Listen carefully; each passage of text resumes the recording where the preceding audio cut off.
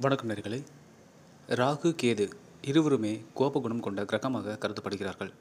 ராகு கிரகம் யாரிடமாவது கோபமாக இருந்தால் அவரது வாழ்க்கையிலிருந்து எல்லா மகிழ்ச்சியும் முடிவுக்கு கொண்டு வர அதிக நேரம் எடுக்காது. இதனால்தான் ராகு கிரகத்தின் கோப பார்வை கூடாது என மக்களிடையே அச்சம் நிலவுகிறது. தற்பொழுது ராகு கிரகம் மேச ராசியில் உள்ளது. அக்டோபர் ரெண்டாயிரத்தி இருபத்தி மூன்று முதல் இந்த ராசியில் சஞ்சரிப்பார். ஜோதிட சாஸ்திரப்படி வரும் மூன்று மாதங்களில் ராகு கிரகங்கள் மூன்று ராசி என்பவர்களுக்கு தங்கள் ராசியை பொழியப் போகின்றன. அத்தகைய சூழ்நிலையில் மகாலட்சுமி அவர்களது வீட்டுக்கு வருவார். அப்பொழுது அந்த ராசி அன்பர்கள் பல துறைகளில் வெற்றி பெறுவார்கள்.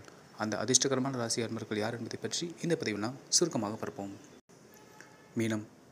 மீனராசி அன்பர்களுக்கு அடுத்த மூன்று மாதங்கள் மகிழ்ச்சி நிறைந்ததாக இருக்கும். அவர்கள் திடீரென்று எங்கிருந்தோ பணம் வந்து சேரும். இது குடும்பத்தின் நிதி நிலையை மேம்படுத்தும் தொழில் வியாபாரத்தில் வெற்றி உண்டாகும். பிள்ளைகள் படிப்பில் ஆர்வம் காட்டி முன்னேறுவார்கள். குடும்பத்தில் வீட்டு இன்னல்கள் நீங்கி ஒற்றுமை உண்டாகும். கடகம். கடகராசி அன்பர்களுக்கு இது போன்ற ஒரு வரப்பிரசாதமான காலத்தை எதிர்பார்க்க முடியாது. புதிய தொழில் தொடங்க இதுவே சிறந்த நேரம். எந்த வேலையை தொடங்கினாலும் வெற்றி கிடைக்கும். குடும்பத்தின் பொருளாதார நிலை சிறப்பாக இருக்கும். வெளியூர் செல்லும் வாய்ப்பு கூடும். உத்தியோகத்தில் முன்னேற வாய்ப்பு கிடைக்கும். மிதுனம். மிதுனராசி அன்பர்களுக்கு பல நிலைகளில் மகிழ்ச்சி இருக்கும். நீதிமன்ற வழக்குகளில் இருந்து விடுபடுவார்கள். இதனுடன் பொருளாதார துறையிலும் சிறந்த வெற்றியை பெறுவார்கள். பங்குச்சந்தையில் முதலீடு செய்வதன் மூலம் நல்ல லாபம் ஈட்ட வாய்ப்பு உள்ளது. அடுத்த மூன்று மாதங்களில் அவர்கள் புதிய சொத்தின் உரிமையாளராக முடியும். வாகனம் வாங்கும் யோகமும் உண்டாகும். மேற்சொன்ன மூன்று ராசி அன்பர்களுக்கும் ராகுவின் சிறப்பான பல நாள் வாழ்க்கை சிறப்பாக அமையப் போகிறது என்பது ஜோதிடத்தின் கூற்று. வாழ்க வளமுடன்.